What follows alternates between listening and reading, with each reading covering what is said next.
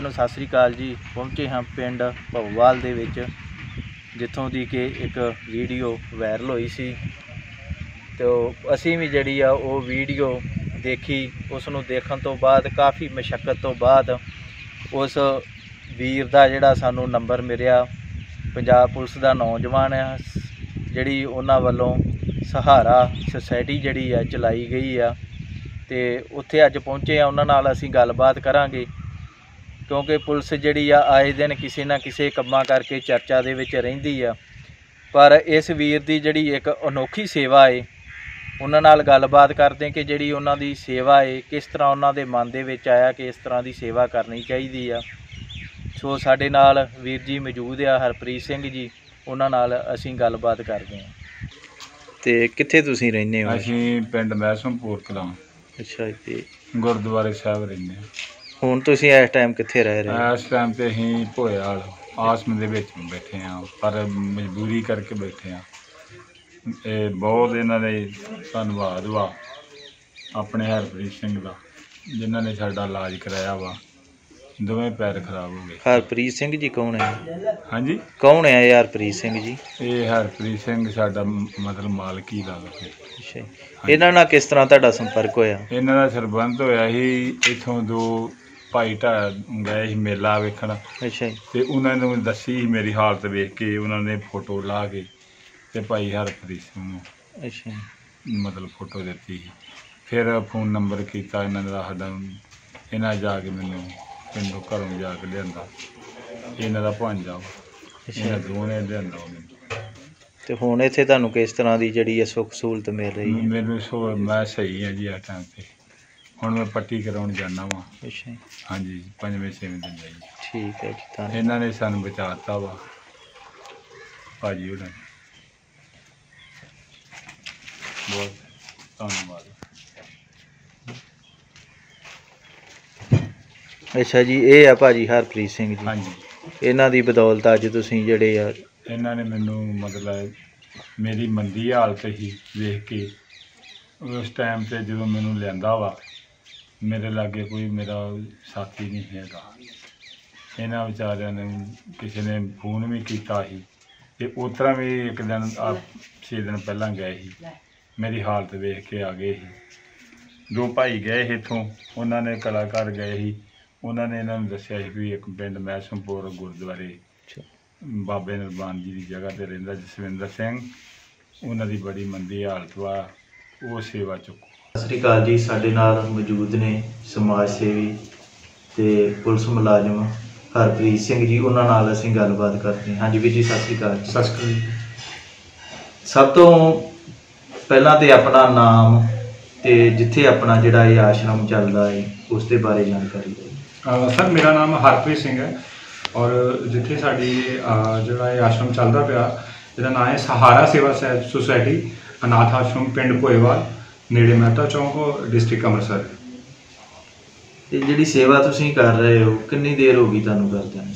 ਅਹ ਮੈਨੂੰ ਸਰ ਡੇਢ ਕੁ ਸਾਲ ਹੋ ਗਿਆ ਤਕਰੀਬਨ ਡੇਢ ਕੁ ਸਾਲ ਤੋਂ ਜਿਹੜੀ ਇਹ ਆਸ਼ਰਮ ਨਾਲ ਸੰਬੰਧਿਤ ਜਿਹੜੇ ਅਹ ਲਵਾਰਸ ਲੋਕਾਂ ਦੀ ਸੇਵਾ ਜਿਹੜੀ ਹੈ ਡੇਢ ਸਾਲ ਹੋ ਗਿਆ ਕਰਦੇ ਕਿਸ ਤਰ੍ਹਾਂ ਦਾ ਜਿਹੜਾ ਮਹਿਸੂਸ ਹੁੰਦਾ ਹੈ ਸੇਵਾ ਕਰਕੇ ਅਹ ਕਿਸ ਤਰ੍ਹਾਂ ਦਾ ਤੁਹਾਨੂੰ ਕਿਸ ਤਰ੍ਹਾਂ ਜਿਹੜਾ ਇਹ ਜਜ਼ਬਾ ਲੱਗਾ ਕਿ ਜਿਹੜੀ ਸੇਵਾ ਅਨੋਖੀ ਕਰਨੀ ਚਾਹੀਦੀ ਹੈ?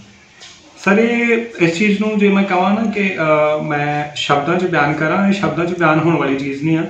ਇਹ ਉਹ ਚੀਜ਼ ਹੈ ਜਿਹਨੂੰ ਸਿਰਫ ਤੇ ਸਿਰਫ ਮਹਿਸੂਸ ਕੀਤਾ ਜਾ ਸਕਦਾ ਕਿ ਇੱਕ ਗਲਿਆ ਸੜਿਆ ਸੜਕ ਤੋਂ ਲਵਾਰਿਸ ਬੰਦਾ ਉਹਨੂੰ ਚੱਕੋ, ਜਿਹਨੂੰ ਆਪਣੇ ਖਾਣ ਦੀ, ਪੀਣ ਦੀ, ਰਹਿਣ ਦੀ ਜਾਂ ਕੁਝ ਮਤਲਬ ਕੁਝ ਵੀ ਸਮਝ ਨਹੀਂ ਹੈਗੀ। ਔਰ ਤੁਸੀਂ ਉਹਨਾਂ ਲੋਕਾਂ ਦੇ ਵਿੱਚ ਰਹੋ ਔਰ ਐਵੇਂ ਲੱਗਦਾ ਹੈ ਕਿ ਜਿਵੇਂ ਮਤਲਬ ਰੱਬ ਬੜਾ ਨੇੜੇ ਜਿਹਾ ਜਦੋਂ ਇਹਨਾਂ ਲੋਕਾਂ ਦੇ ਵਿੱਚ ਆਪਾਂ ਲਗਾਤਾਰ ਇਹਨਾਂ ਨਾਲ ਰਹਿੰਦੇ ਆ ਨਾ ਤਾਂ ਉਹ ਇੱਕ ਅਨੁਭਵ ਵੀ ਬੜਾ ਅਜੀਬ ਜਿਹਾ ਜਿੰਨਾ ਮਰਜ਼ੀ ਸਟ੍ਰੈਸ ਹੋਵੇ ਕਦੇ ਡਿਊਟੀ ਦਰਮਿਆਨ ਹੋ ਜਾਂਦਾ ਹੈ ਕਦੇ ਮਤਲਬ ਥੋੜਾ ਬਹੁਤਾ ਕਹਿ ਸਕਦੇ ਹਾਂ ਕਿ ਕਈ ਵਾਧੇ ਘਾਟੇ।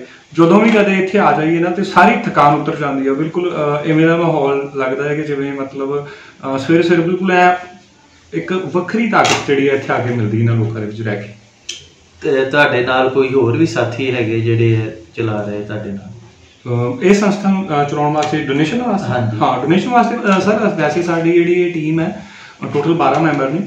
12 ਦੇ ਵਿੱਚੋਂ ਜਿਹੜੇ ਡੋਨੇਸ਼ਨ ਵਾਲੇ ਨੇ ਉਹ ਸਾਡੇ 9 ਵੀਰ ਨੇ। ਜਿਨ੍ਹਾਂ ਦੇ ਵਿੱਚੋਂ ਸਾਡਾ ਜੋਧਾ ਵੀਰ ਹੈ ਯੂ ਐਸ ਏ ਤੋਂ ਸੁਖਬੀਰ ਵੀਰ ਹੈ ਯੂ ਐਸ ਏ ਤੋਂ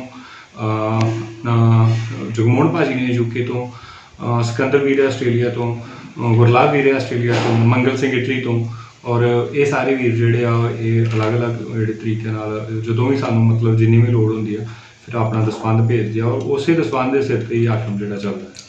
ਲੋੜਵੰਦ ਇੱਥੇ ਕਿੰਨੇ ਕੁ ਜਿਹੜੇ ਹੁਣ? ਤੁਸੀਂ ਇਸ ਟਾਈਮ ਵੇਖ ਲਓ ਕਿੰਨੇ ਕੁ ਜਿਹੜੇ ਆ ਲੋੜਵੰਦਾਂ ਦੀ ਤੁਸੀਂ ਸੇਵਾ ਸੰਭਾਲ ਕਰ ਰਹੇ ਹੋ ਰਾਸ਼ਨ ਟੋਟਲ ਸਰ ਸਾਡੇ ਕੋਲ ਇਸ ਵੇਲੇ 20 ਦੇ ਕਰੀਬ ਮਤਲਬ 20 ਬੰਦੇ ਸਾਡੇ ਕੋਲ ਇਸ ਵੇਲੇ ਜਿਹੜੇ ਰਹਿ ਰਹੇ ਆ।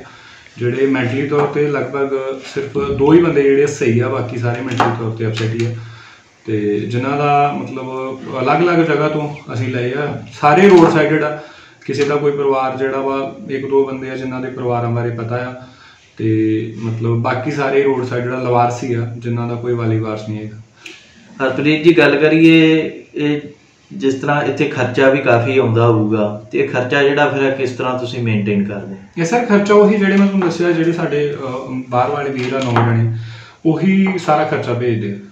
ਤੇ ਉਹਨਾਂ ਦੇ ਸਹਿਯੋਗ ਨਾਲ ਹੀ ਜਿੰਨਾ ਕੁ ਮੈਂ ਕਰ ਸਕਦਾ, ਮੈਂ ਜਿੰਨਾ ਕੁ ਦਸਵੰਧ ਦੇ ਸਕਦਾ ਉਹਨਾਂ ਕੁ ਕਰਕੇ ਫਿਰ ਸਾਰਾ ਹੀ ਆਪਸ ਦੇ ਵਿੱਚ ਹੀ ਐਡਜਸਟਮੈਂਟ ਕਰਦੇ, ਸਾਨੂੰ ਹੋਰ ਤਾਂ ਕੋਈ ਹੈਲਪ ਨਹੀਂ ਹੈਗੀ ਕਿਉਂਕਿ ਸੰਸਥਾ ਸਾਡੀ ਛੋਟੀ ਆ ਔਰ ਮਤਲਬ ਤਾਂ ਹੀ ਕਰਕੇ ਸਾਨੂੰ ਜਿਹੜੀ ਹੈ ਪ੍ਰੋਬਲਮ ਆਉਂਦੀ ਆ ਔਰ ਜਿੰਨਾ ਕੁ ਸਾਡਾ ਖਰਚਾ ਆ, ਉਹ ਲਗਭਗ ਉਹੀ ਚੱਕ, ਉਹੀ ਚਲਾਉਂਦੇ, ਉਹ- ਉਹਨਾਂ ਤੋਂ ਹੀ ਚੱਲਦਾ।